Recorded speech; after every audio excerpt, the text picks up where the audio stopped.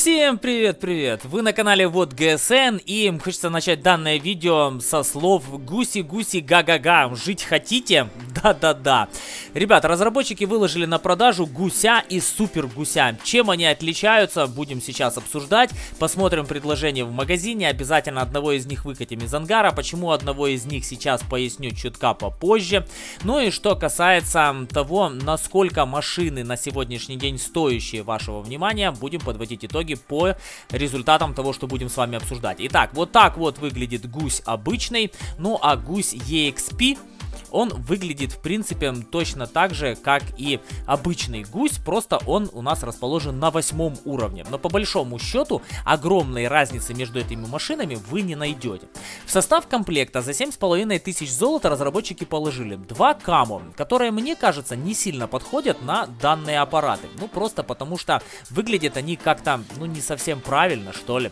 Это совсем не подходящие для них камуфляжи, может, для какого-нибудь быстрого французского танка, окей, хорошо хорошо, но явно не для вот этих тяжеловесов огромных размеров с огромными скворечниками сверху на корпусе, который тоже, кстати, является крайне огромным в бою.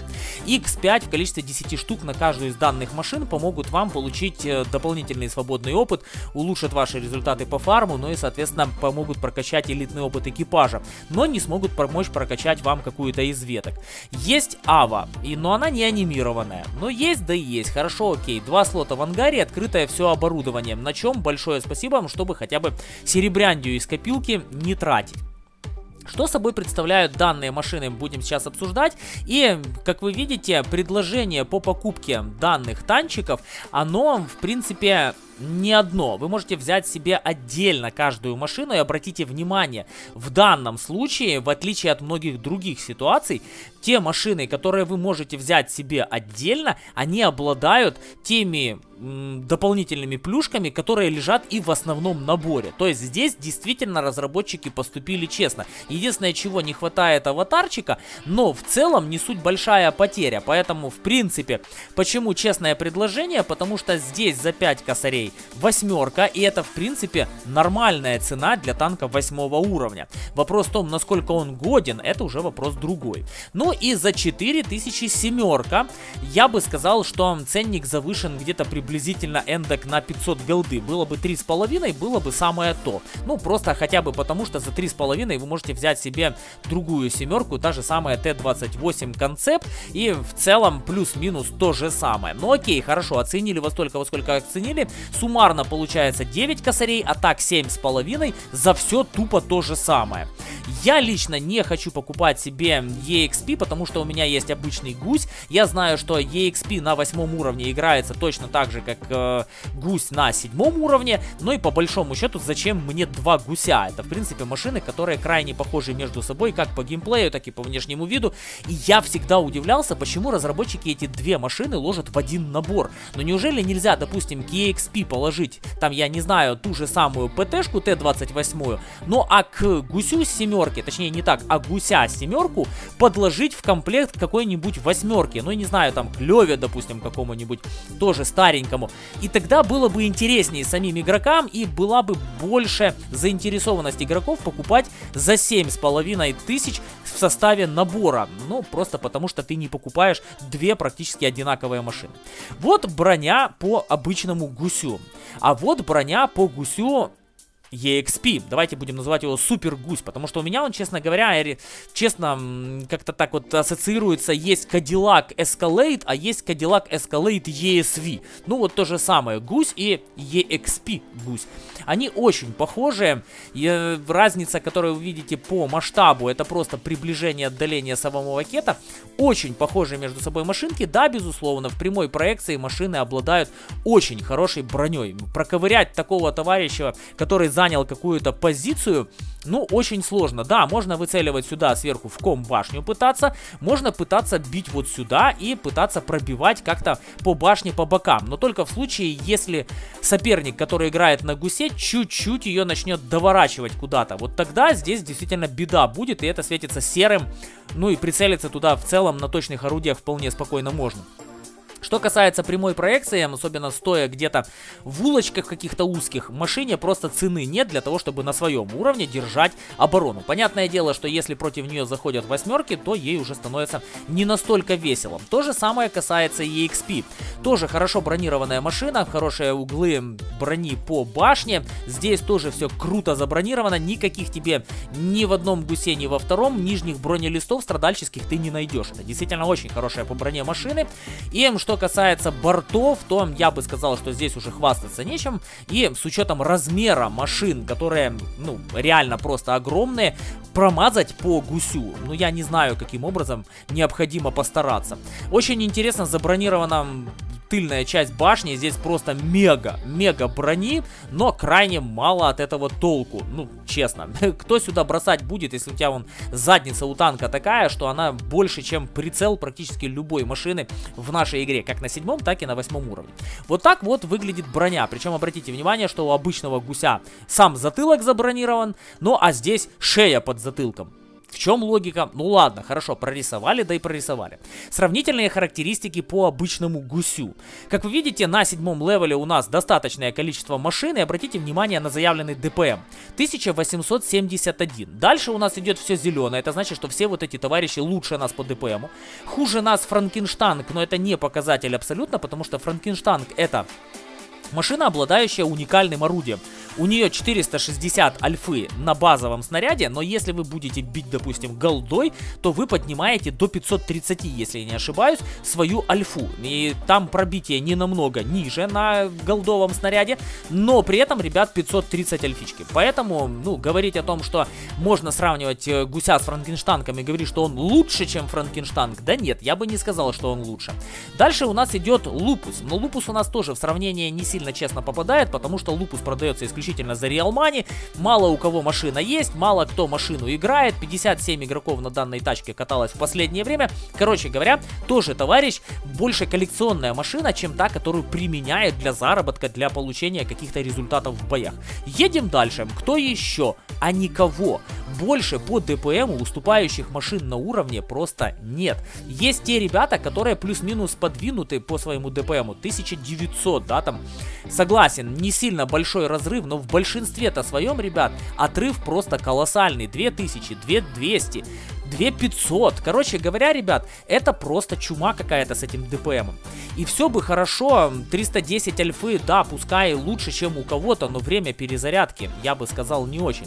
И много других нюансов, касающихся по орудию и по геймплею на данной машине. 150% доходности, ну поверьте, это не будет ваш фармер, потому что большинство машин, которые являются премиумными на этом уровне, они имеют 150% доходности.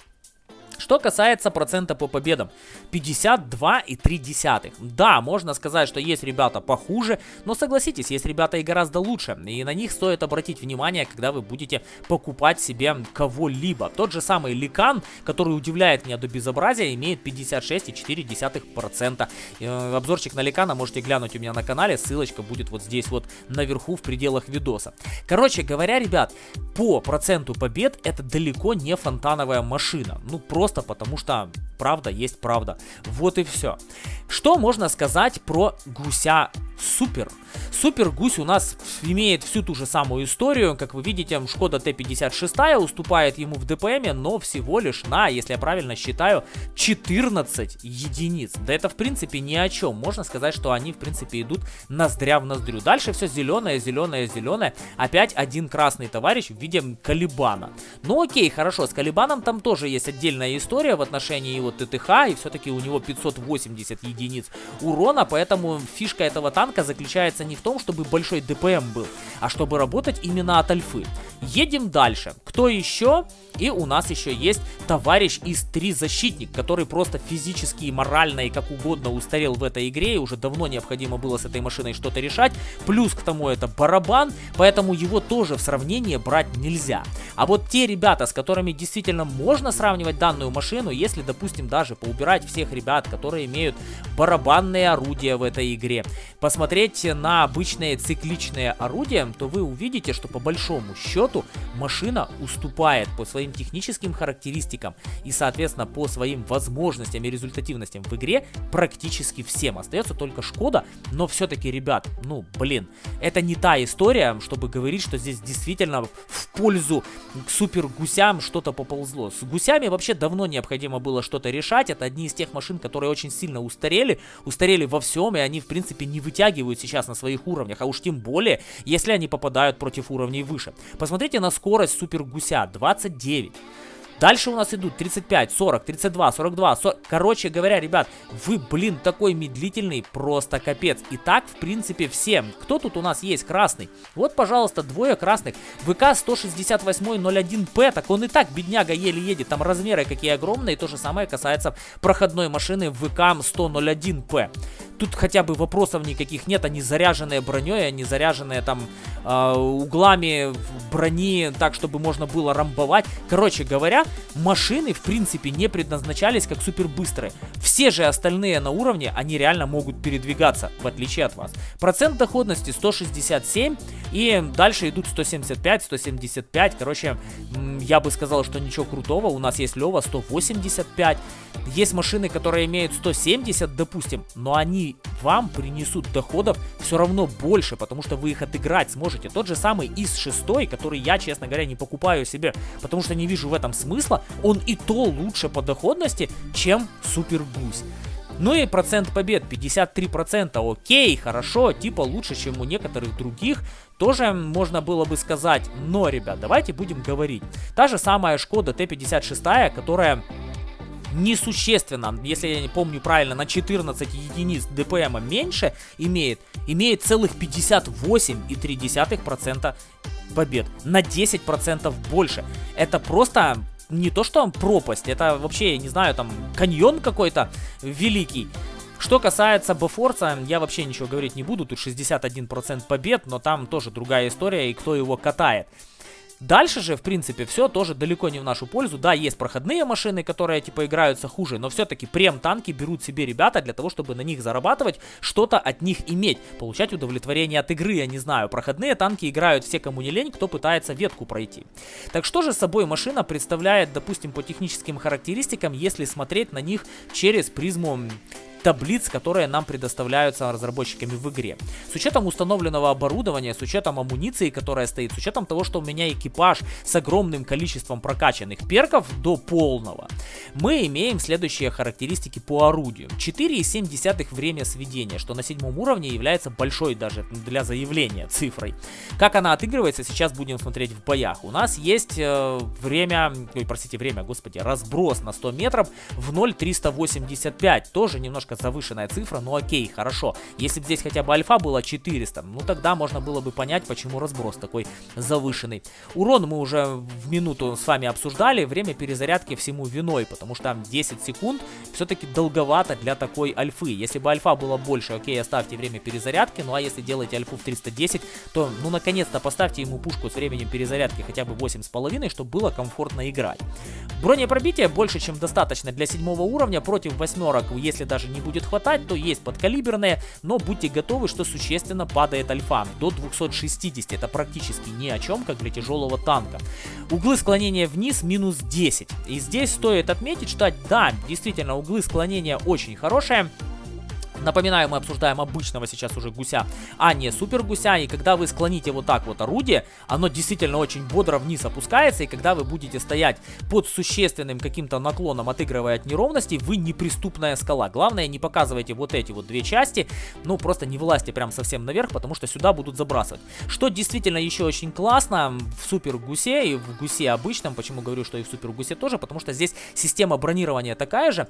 Вот здесь вот не оголяется ваш ваше днище. То есть, когда вы даже перекатываетесь через какую-то горку, да, то есть, ну, преодолеваете ее, как правило, тяжелым танком начинают забрасывать вот в эту переднюю часть, да, то есть ниже нижнего бронелиста.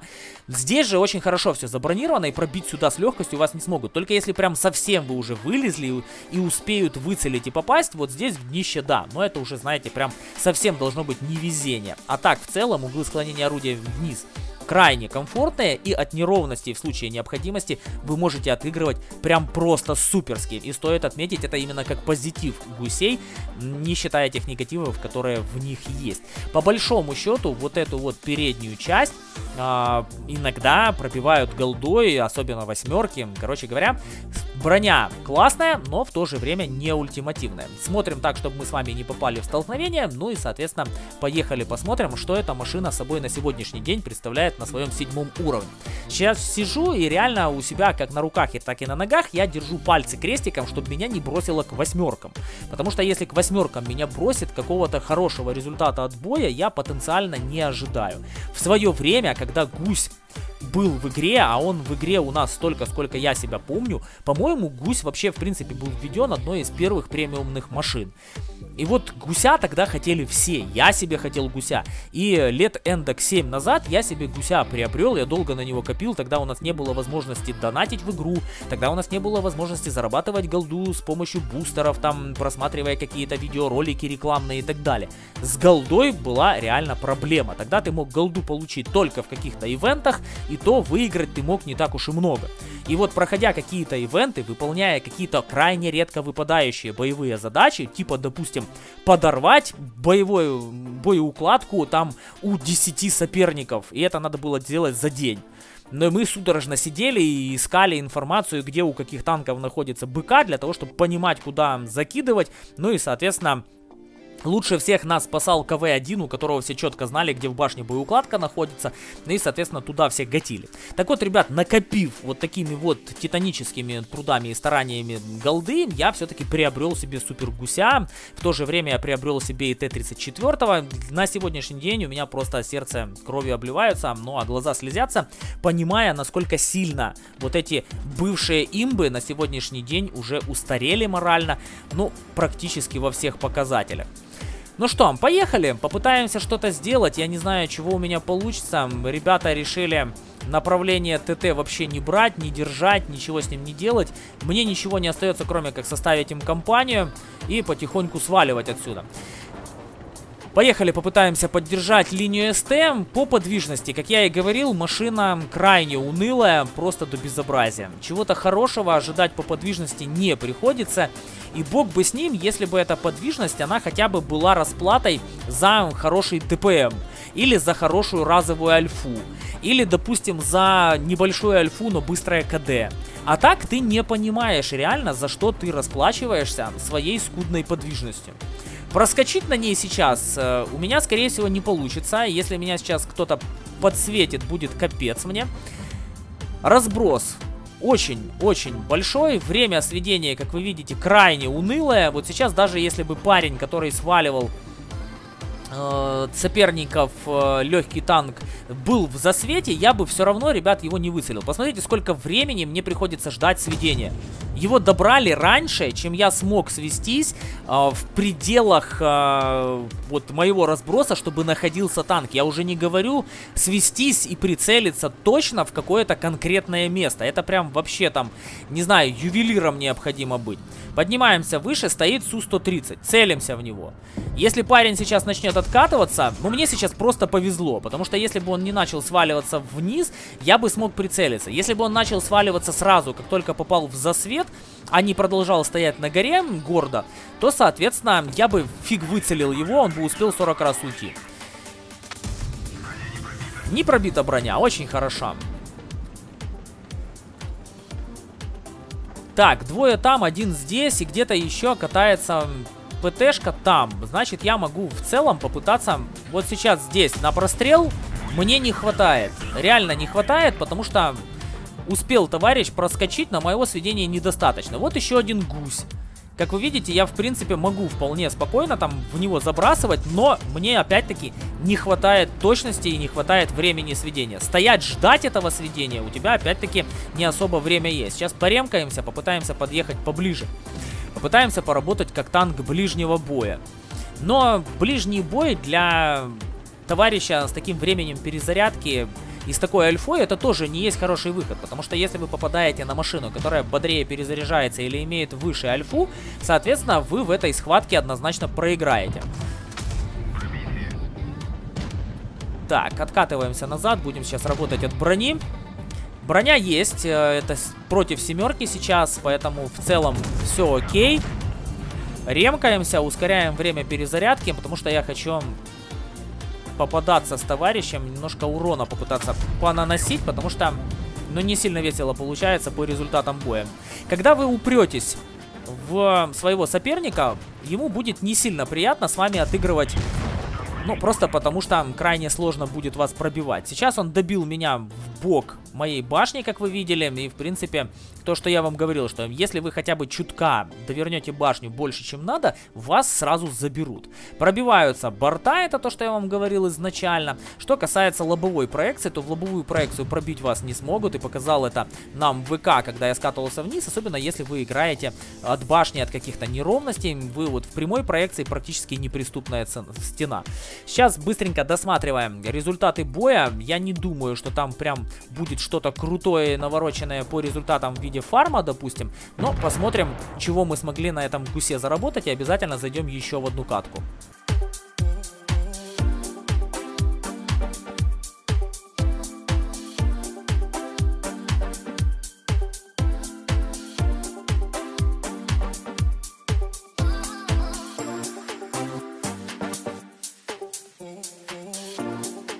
Итак, друзья, закончился бой, закончился поражением. Гусь из параллельной команды, точнее, команды соперников, он оказался более профессиональным игроком, а может быть более везучим, потому что он занял третье место в команде по урону. При этом, ребят, обратите внимание, что при своих 1868 он недалеко ушел от меня, 1444, он просто добивал недобитков. Да, я согласен, он сделал все для победы, он добирал стволы, вопросов нет, но все-таки результативность самой машины говорит сама за себя. В нашем случае третье место в команде по урону в проигравшей команде, ну и соответственно по фарму рассчитывать в принципе не на что. Чистоганом всего лишь 11 тысяч. Но это поражение, кто-то скажет, да, действительно, кто ты, э, точнее не так, что ты хотел получить для того, чтобы там точнее, с того, что ты сделал в бою.